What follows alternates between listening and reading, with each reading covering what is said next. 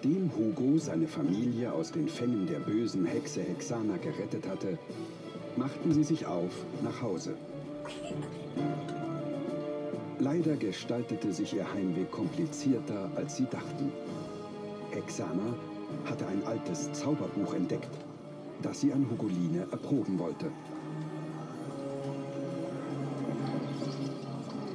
Sie wollte die Wolken mit einem Zauberspruch dazu bringen, Hugoline für sie zu entführen.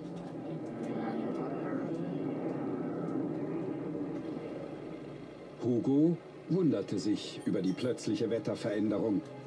Aber er wusste nicht, dass Hexana ihre Finger im Spiel hatte.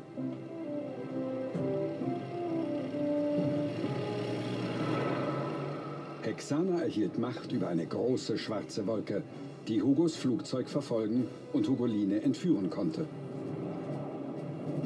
Hexana lachte böse.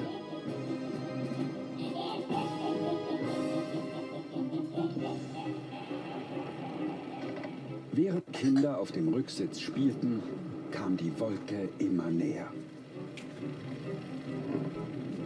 Als Hugo die Wolke sah, war es schon zu spät. Die Wolke entführte Hugoline und wollte sie zu Hexanas Höhle bringen. Als Hugo sah, dass Hugoline fehlte, wusste er, dass Hexana dahinter steckte. Doch bevor er Hugoline retten konnte, musste er erst die Kinder in Sicherheit bringen. Er gab ihnen Fallschirme, mit denen sie abspringen sollten. Das Flugzeug stürzte ab. Zuerst musste Hugo die Kinder finden und dann Hugoline befreien.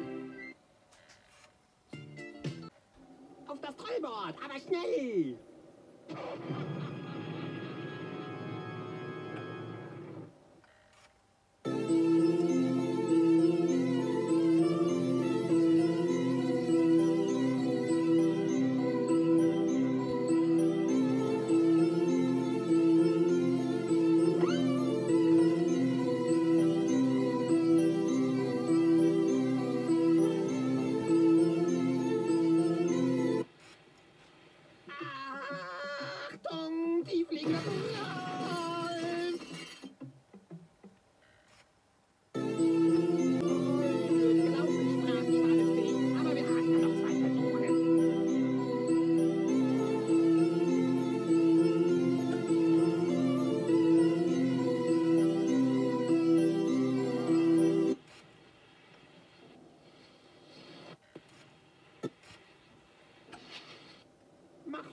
Nix.